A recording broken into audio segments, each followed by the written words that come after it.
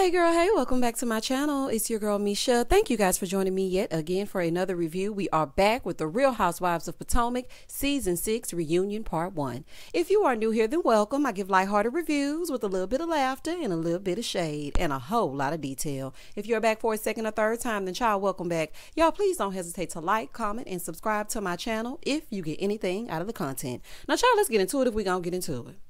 All right, so I didn't do a separate video for the looks of it all. But I'm gonna go ahead and go through the looks right now.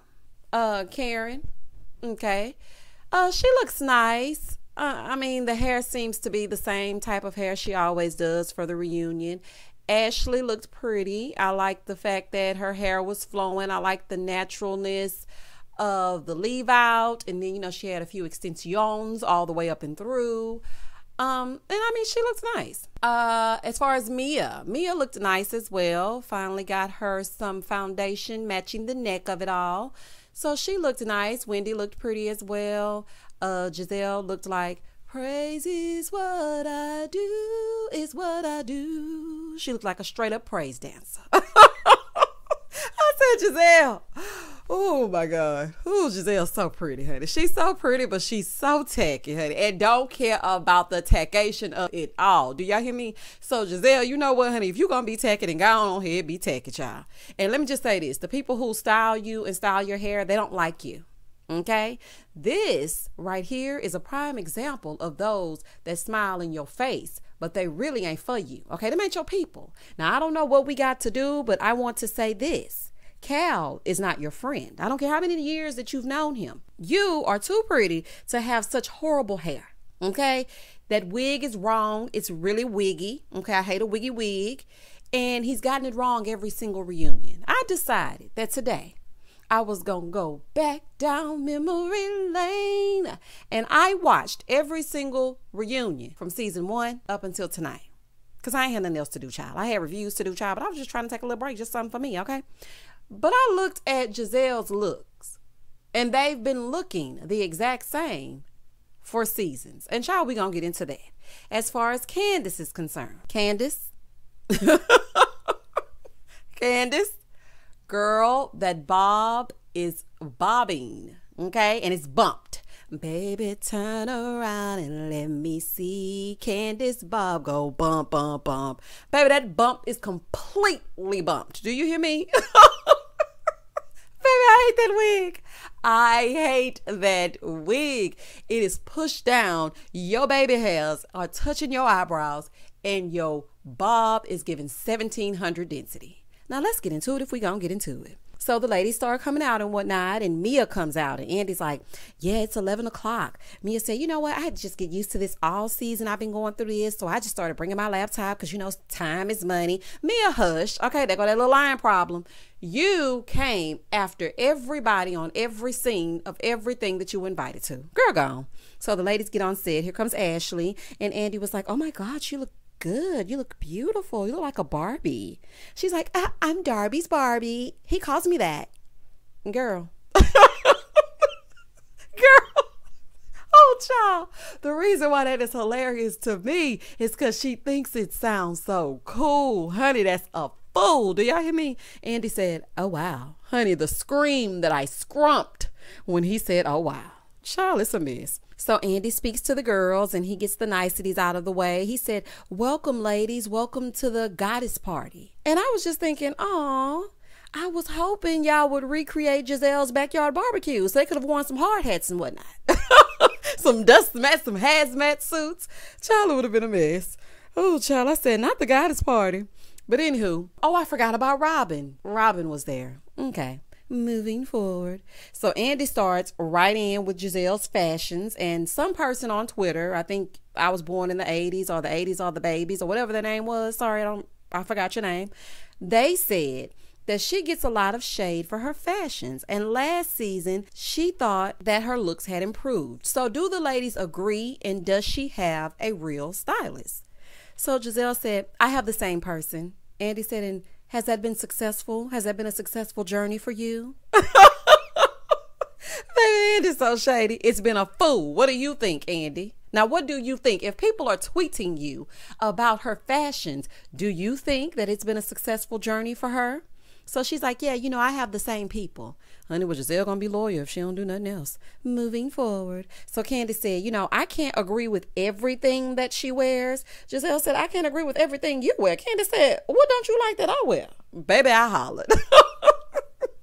Candace was like, girl, I know you didn't. Gizelle said, I can't remember, but they're fine for you. Okay, I know at least one Candace. Okay, I gotta say it. Her little ensemble at the drive back video, it gave me Meet Me at the Malt Shop. It was very childlike, okay, for such an adult song. The stylist got it wrong on that one. But for the most part, you pull yourself together. Candace said, yes. But what's fine for me is fine for most people. She's trying to say normal people that know how to dress. So Gizelle said, Look, I'm happy with everything that I put on my body. Well, child, that's that on that. Moving forward. Karen said, Look, we can't expect improvement. It's going to be consistent. Mm, I was like, Oh, child, not flatlined. Shout out to Portia. Child, let Gizelle be tacky in peace. Y'all leave her alone. And Karen, you just got them wigs together. Now, I love you, Grand Dame. But when Candace was first introduced on the scene and she took y'all to that little picnic where um Chris was catering, that wig was sliding off your head like as if it was running away from the conversation. Okay. baby, the wigs were running. Okay, so all of y'all have had a little bit of something going on with you, but just let her be taking in peace, honey. She wears what she wears, and she ain't changing it. Moving forward. Then Andy shows us this pixelated flip phone video of Nicki Minaj saying she wanted to be there, but we all know she gonna be there, child. And I was like, what is this flip phone footage? And I had to wonder if it was my TV, and I was like, let me go look on the other TV. Child looked on the other TV, it was still the same. I said, oh, okay, honey, so they just playing the fool. Okay, got it. Then we go over and we start with Mia, and Andy asks how she liked joining the group. She said it was a wild ride. Andy asked what were the ladies' first impressions. Candace said, I liked her at first. Okay. And then he asked Gizelle about her first impression. She said, You know, I loved her at first, but we had a few bumps in the road, but I like how she owned everything and she was so real. Candace said, I, I mm-mm, don't forget that little line problem. well, y'all know she didn't say line problem, but y'all know I like to zhuzh it up. So she said, no, but she says she tells lies. So Mia said, well, what did I lie about? So Candace referred back to the clitoris of it all, okay? Because you did lie about that, Mia. So Mia tries to explain it away like she likes to do. So then Andy goes, did you get a clitoplasty or did you get vaginal rejuvenation? Not a clitoplasty. I don't know why that's so funny to me. Child, I'm childish. She's like, you know, I actually had a lot of work done. You know, I had a lot of, you know, I had a full mommy mm, girl you got them beef curtains together, and that's okay. But quit evading the question, okay? You're talking in circles. So she's like, you know, G and I were very sexually active. So Wendy goes, but your favorite position is missionary. Honey, mine too, when I'm feeling a little lazy. And what else is going on? Wendy. She said, I just don't understand how it beats your puss up if you're laying missionary. Oh, well, girl, maybe you ain't had the right one, okay? I'm just saying. So then Andy said, Well, we don't know what G is working with. Child, we don't know and we don't want to know because honey, he was already trying to show us when they went on that little trip. So please let G keep his piece in his pants. Got it. Child, can we please move past the clitoronomy of it all or whatever it's called, child? As Nene was saying, they done wore that out. Your clit has left your body. Shout out to Nene Leakes.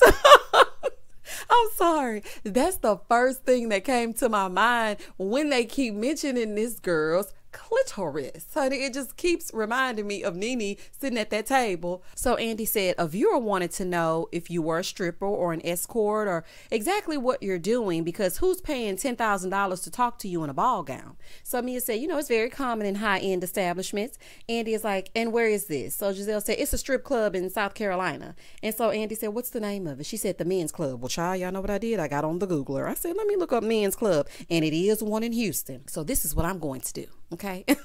I'm about to create an expose. I'm going to do some investigative work to see if the ball gowns are present because you know me, you got a little line problem. And apparently, G helped build the upstairs VIP. And I was like, not G, a founding father and whatnot.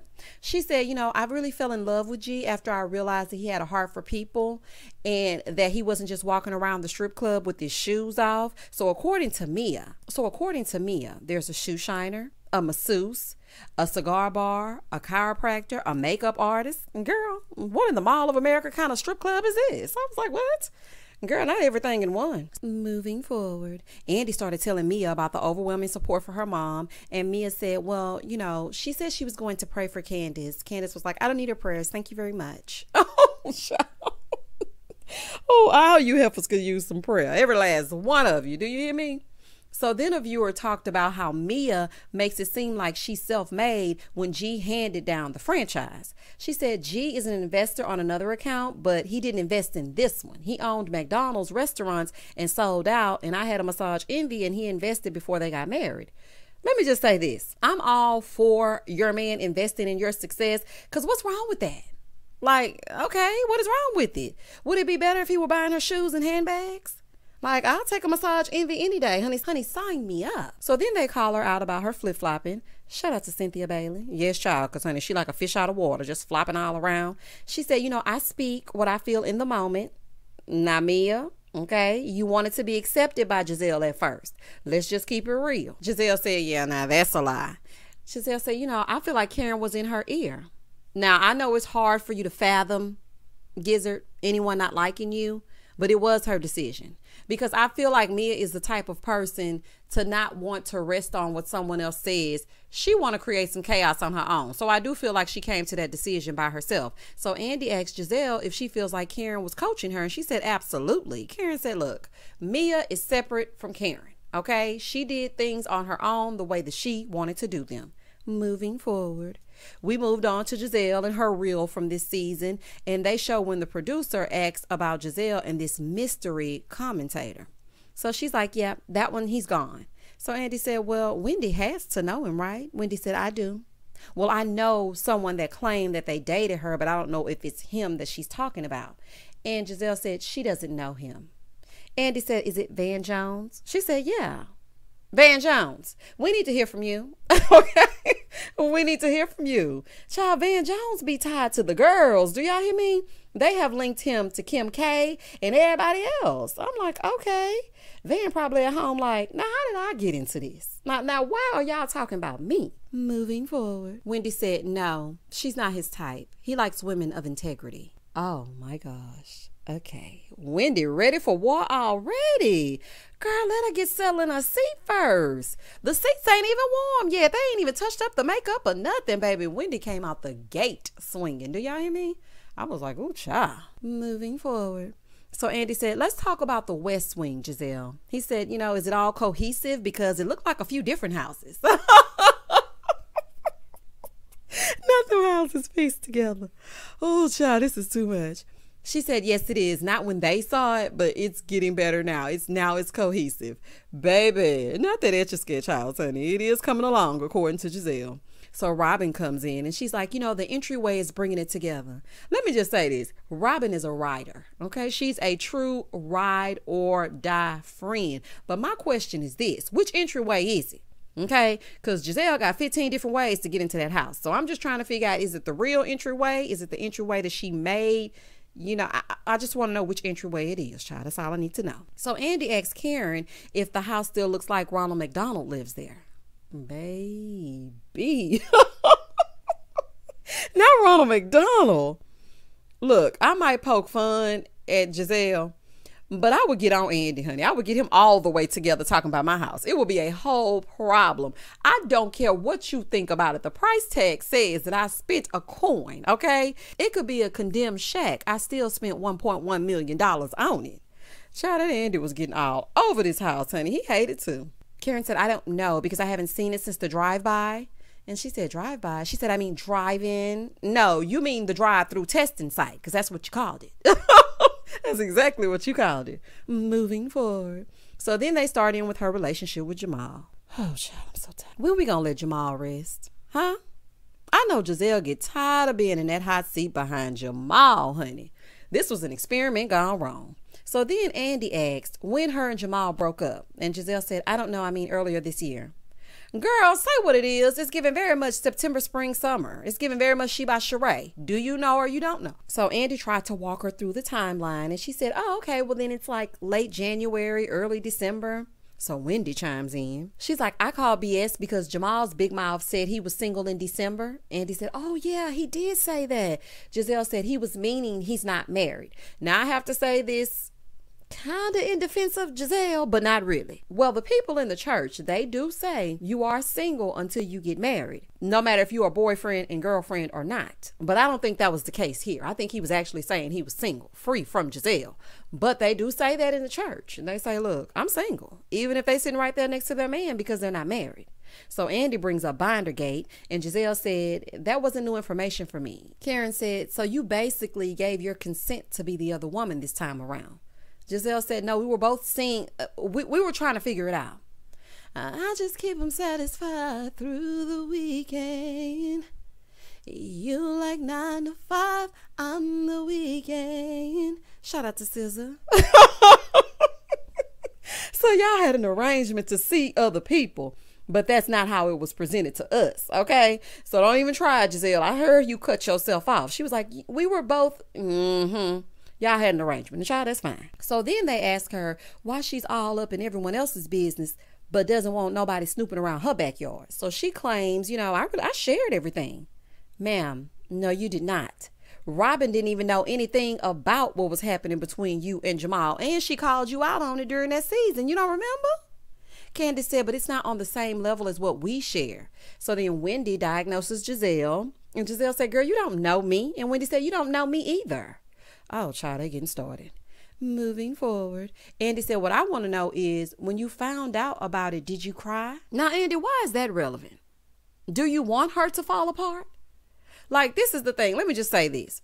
Those two concocted that scheme for a storyline, but it didn't work out because they didn't work out the logistics. The only reason she cared at all about the binder is because her girls got upset. And look, y'all cannot pay me to believe anything different. They were not back together for real. I said what I said and I ain't changing it. I do not believe that Jamal and Gizelle were actually a real couple at the time of this whole thing that Todd set up to come at us with the bush. Because I'm not believing it.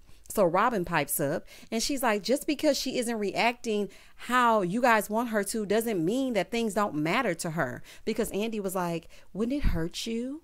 Basically, Gizelle was just like, I'm used to it. And that would be sad if they were really reconciled, but it was a shim sham. Moving forward. So then Andy talks about her daughters and they them saying that she was an emotional vampire. And Gizelle said, I had to be that way or else I wouldn't have made it. Now this, this right here, I know this came from the heart because I've been in that space. You build a wall up after being torn down so you can shield yourself from being hurt in that capacity again. I understand it. I understand it. That was a real statement. I know some people out there don't like Gizelle, but that really was a real statement, especially after how Jamal embarrassed her out in society. I'm pretty sure she never wanted to experience that hurt again. So she just decided, look, y'all ain't gonna never get that out of me from here on out, this is how I'm going to be. But it didn't translate in the right way to her daughters because she never had a conversation with them about everything that she endured, which she should have. Moving forward, Jamal is sick. And to walk around as a man of the cloth, honey, it's a fool. So they asked why Karen shames Gizelle for not having a man. And she said, No, I shame Gizelle for her choices.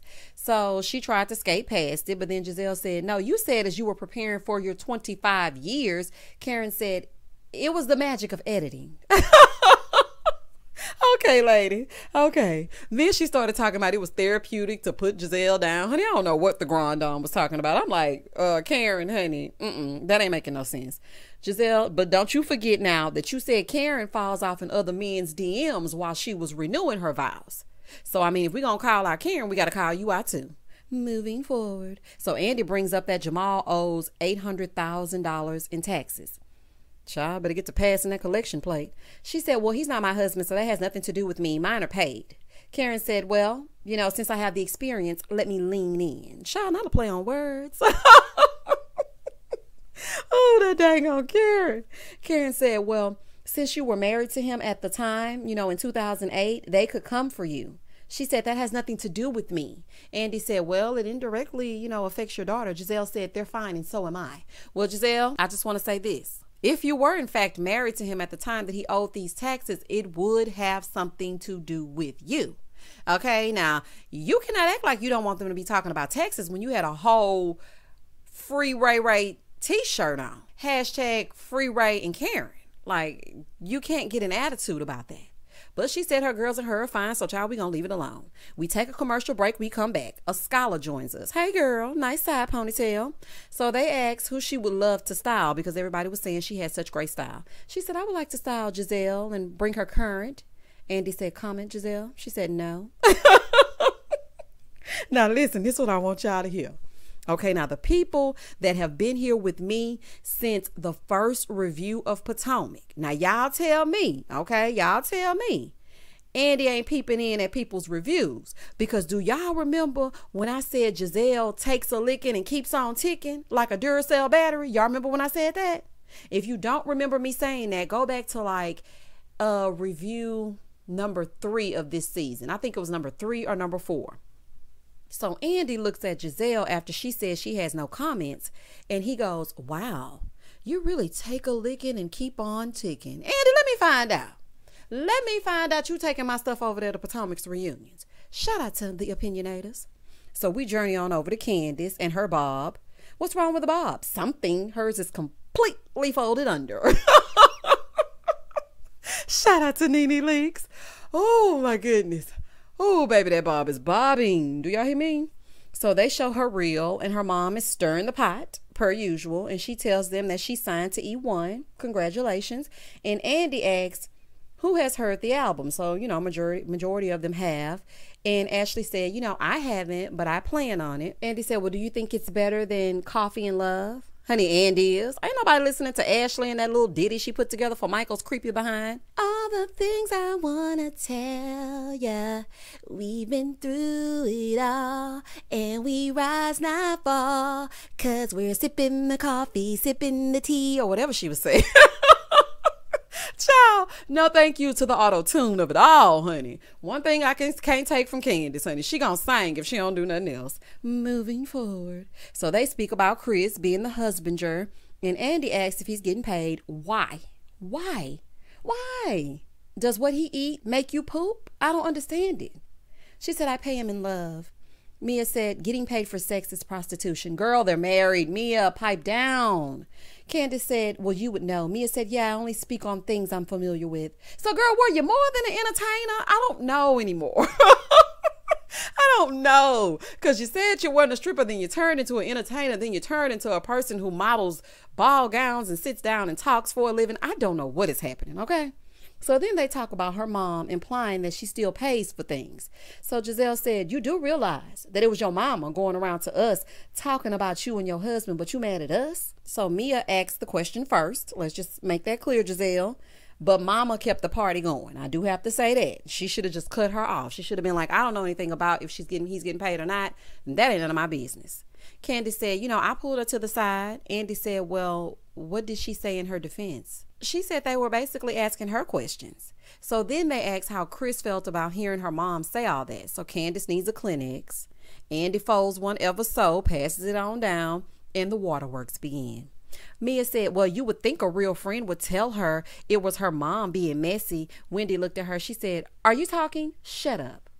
Oh, dang, Wendy. Baby, that front seat got you acting up. I thought her and Mia were cool. What happened to GVO? Child turned out to be STFU. Child, this is a fool. So Candace said, Chris is really hurt, and I just don't know how to get my family back together. I don't know how to fix it. Chris didn't deserve all that. I have to say. Chris is unproblematic. Okay, just leave Chris alone, child. Miss Dorothy got to get over it. That's who she chose. So if that's who she chose to be with, child, she married who she married, and she ain't changing it, child what y'all need to be worried about and Chris needs to be worried about is fussing and fighting with you for emasculating him every chance you get. That's what really needs to be talked about. So they talk about the low budget comment and Candace said, I wasn't supposed to pander to the extras. I was there to get the shot. The goal is to get the shot. Mia said, You spent $10,000. The video was low budget. So basically, she said what she said and she ain't changing it. So then they asked Candace if she knew about Mia's backstory. She said, No, I didn't know about her backstory with her mom at all. And if I knew, I would have said something else. So then she says, You know, in the black community, it's called joning. And, you know, I went light and you were ungrateful. And girl say, What now? Oh my God, girl, you could have just cut it off and I would have said something different. Like, ugh, Candace, Candace. So Andy said, So she's supposed to be grateful that you said your mama's low budget. So then Gizelle pipes up and she says, I didn't feel like all that you said out of your mouth was justifiable. I didn't feel like that situation warranted that. So Candace said, Well, welcome to the stage. We all do that. That's what we do. And so Andy said, So how's that working out for you? She said, What? He said, How are people responding to the way that you respond to things? How's that working for you? You were almost physically assaulted last year. Almost. Andy, don't backpedal now. You treated Monique like a second class citizen last reunion. Now it's, oh, your mouth. It makes people want to assault you. Okay, Andy, you just doing damage control on the slick, honey, and you ain't fooling me. He said, You're the common denominator. Now this is true, honey. She always into it with somebody, and we not we gotta call a spade a spade. Candace is always into it with somebody. Like my God.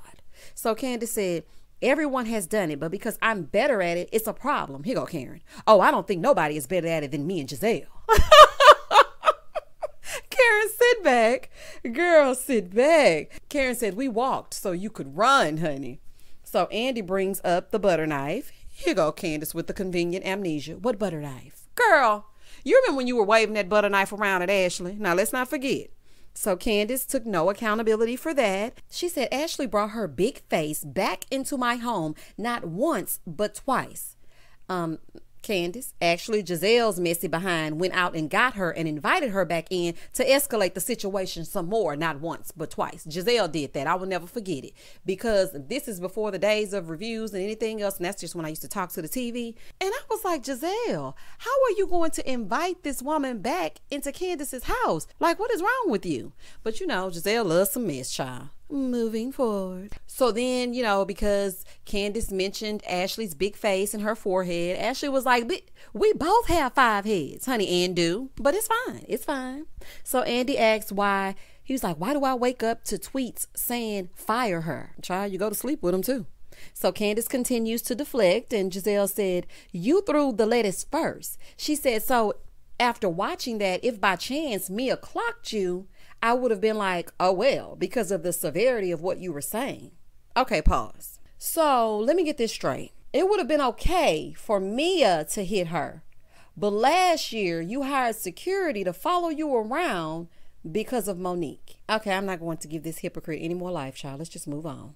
Candace said, I never started. I'm always responding to what someone is doing to me. So Gizelle is telling her, you know, she needs to learn to pull it back.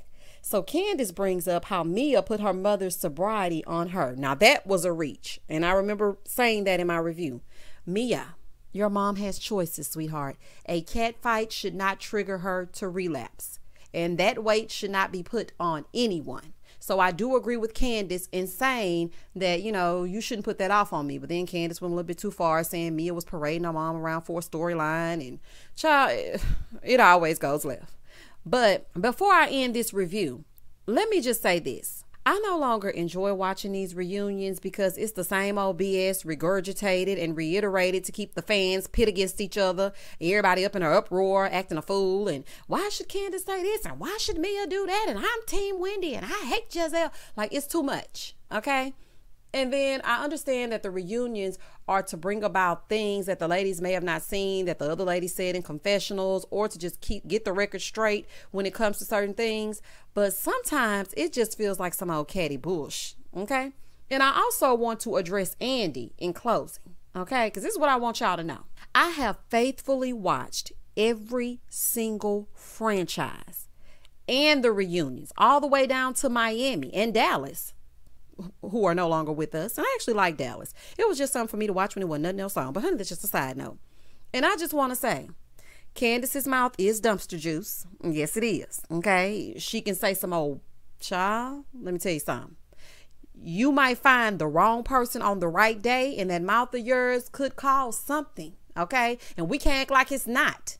Outside of the the the walls and the parameters of the Real Housewives of Potomac, your mouth being slick like that could cause things to happen. And I'm not going to sit here and act like it can't. But so does Erika Jaynes over on Beverly Hills. Okay. I watched as she called Sutton a see you next Tuesday crickets. Nobody said a word to her. Andy went in on this reunion, okay, on both Gizelle and Candace. but didn't say one word to Erika Jayne. Now, if y'all don't watch The Real Housewives of Beverly Hills, please just take a moment to just watch the four part reunion so that you can understand what I'm talking about, okay? He smiled, he looked at Erika, and he said, You're such an interesting person. I've never met anyone like you. When she threatened to do physical harm to a chagrin, he was just like, Well, you didn't mean it like that? All I'm saying is this before y'all get down in the comments and y'all start to argue, take a look at who the real villain is, okay? Because our people get treated much different than their franchise counterparts. And I'm team me before anybody. I really could care less what's happening between we already went through this when the season was going on. But I just thought that it was strange to see how he was asking how certain things were working for them and why don't you cry and all of this. But I just saw you sit through a four part reunion with Erika Jayne, whose husband is accused of, as well as her in connection to, of stealing from widows, orphans, and burn victims. And you said she's one of the most interesting people that you've ever met. And then you said, I'm just so happy that you acknowledged the victims on today and she didn't acknowledge a dang on thing. Okay? I don't have time to state my case for the people that couldn't pick me out of a lineup, but I just wanted to make sure that I let it be known that Andy is in fact the villain. Please don't hesitate to comment, like, and subscribe to my channel. Let me know exactly what you thought about the first part of the reunion. What did you think about the looks? What did you think about, you know, Wendy piping up every few minutes, honey, because she's in that first seat? I didn't really know about the seating arrangements. I liked Wendy this season, but I do feel like Karen should have had the front seat and, you know, Wendy should have maybe had the second. But then I do remember that Kandi over on Atlanta said that she realizes when you get the first seat, that means you had the most drama. So then it makes sense. Y'all comment down below and tell me exactly how you felt. And as always, stay safe, stay blessed, spread love, not germs. Peace.